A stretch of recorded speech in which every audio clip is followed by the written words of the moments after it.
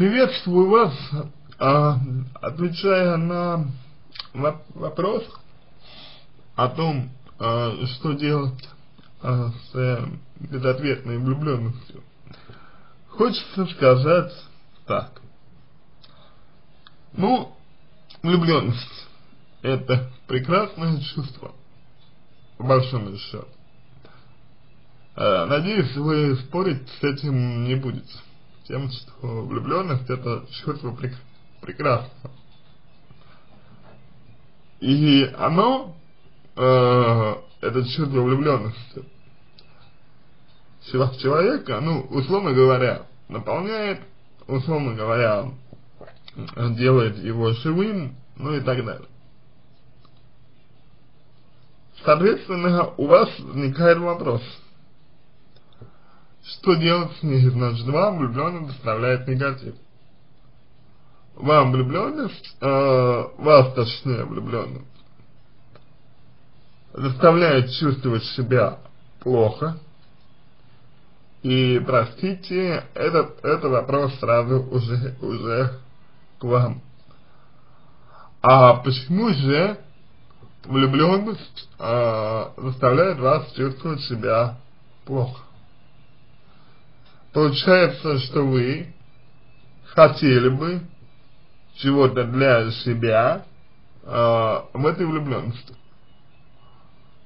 Получается, что вам хотелось бы что-то получить э, для себя в этих отношениях с молодым человеком.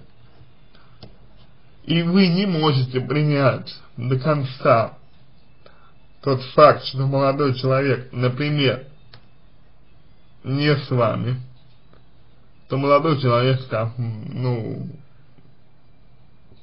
э, не отвечает вам взаимностью, и это вы, вы испытываете данную проблему потому, что не, не можете, не можете э, воспринимать человека только как, э, ну, не знаю, как, э, как адекватного самоцельного, самобытного носителя э, неких, неких ценностей, если угодно.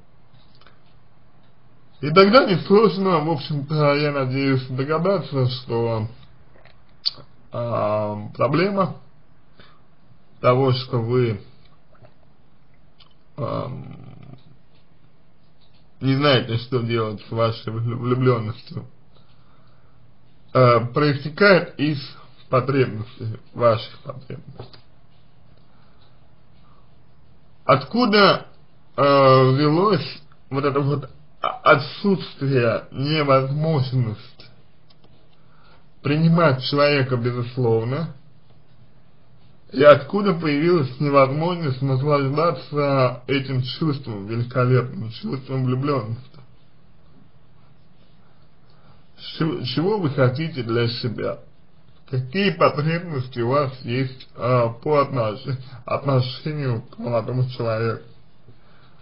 Вот, вот об этом с вами и нужно а, как бы разбираться, об этом с вами нужно разговаривать. Потому, потому что это принципиальный момент. Ну, как принципиальный? Это важный момент. Это момент, который по сути определяет все. Это момент, который определяет э, дальнейшее протекание ваших отношений. И, соответственно, если вы хотите, чтобы у вас с молодым человеком а, либо что-то получилось, либо а, там как-то еще было хорошо все, то есть чтобы либо вы э, получали удовольствие от э, того, что вы его любите, нужно разгрузить значимость для вас молодого человека.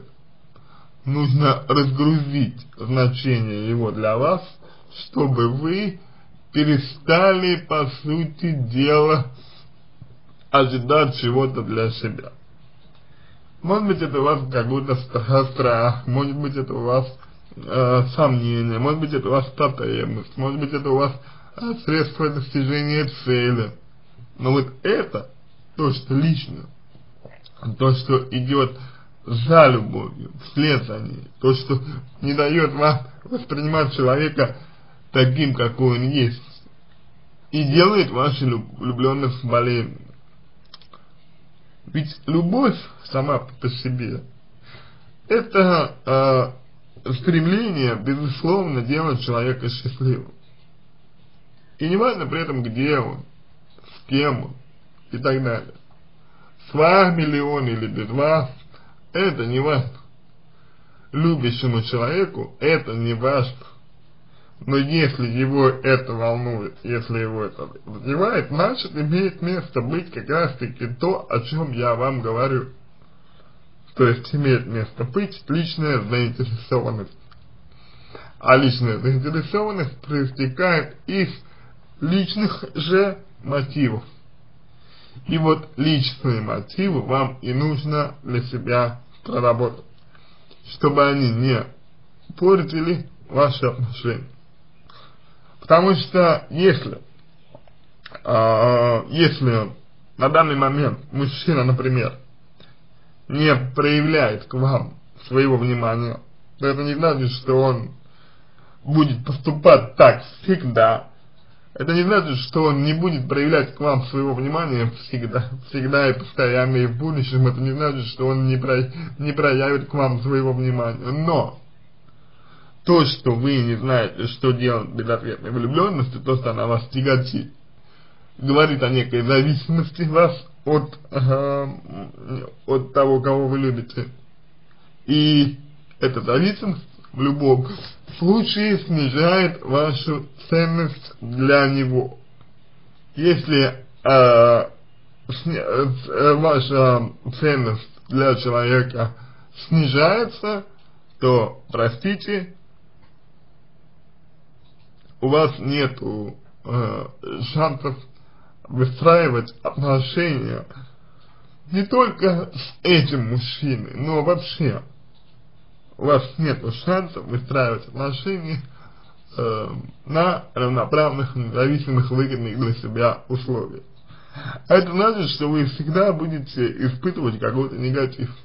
И если поступать так дальше, как вы это делаете сейчас, то можно просто выработать у себя некий ассоциативный ряд, ассоциативную привычку, в результате которой у вас э, личные отношения будут соотноситься с негативом. Ну и тогда вам уже нужно будет страх близости прорабатывать. Надеюсь, вы до этого не доведете. А, на этом все. А, хочется верить, что помог вам. Если какие-то вопросы остались, обращайтесь в личку. Помогу, если вам понравился мой ответ. Буду благодарен, если сделаете его лучшим. Желаю вам всего самого доброго и удачи.